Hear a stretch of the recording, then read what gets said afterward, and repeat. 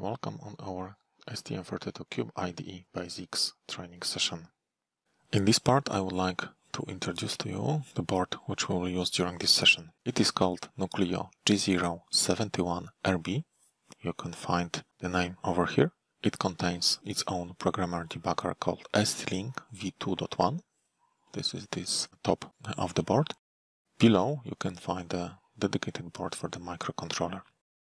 Our microcontroller would be STM32G071RB-T6, 64-pin microcontroller from STM32G0 family. This is the central chip on the board. On the board you can see as well some additional components which would be useful for us. Some buttons, LEDs, uh, jumper to measure the current consumption, some connectors which allows us to connect other components. Let's have a look on the components which you will use uh, during this uh, session. On top you can see the ST-Link Programmer Debugger. It can be connected to the PC using this CN2 connector using micro USB cable. This is the main chip for the ST-Link. Below you can find a board for our microcontroller with the microcontroller in the, in the center.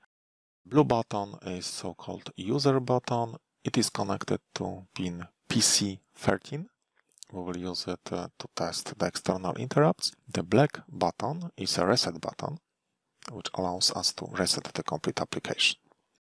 On board we have as well the green LED. It is located on the right side of the reset button. This green LED is connected to PA5. We will use it to indicate some states of our application. Once we connect the board to the PC using micro USB cable, and this CN2 uh, connector, a ST-Link driver will be installed on our PC. If the driver is properly installed, after the connection of our Nucleo board to the PC, we should see LD1 red LED on, which if it's blinking, it means that there is a problem with the driver installation or the board is not yet detected by the system. Thank you for watching this video.